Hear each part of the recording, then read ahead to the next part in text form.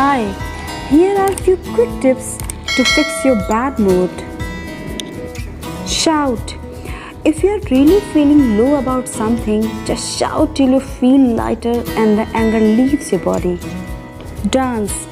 One of the best way to fix your mood.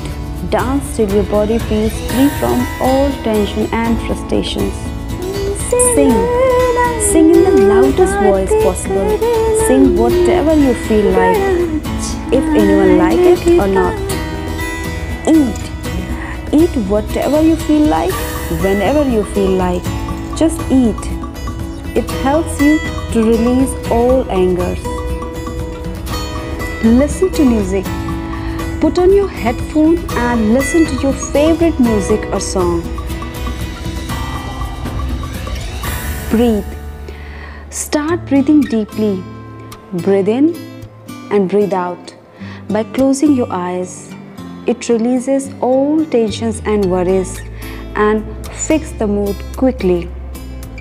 So next time when you are upset, try these quick tips. Bye.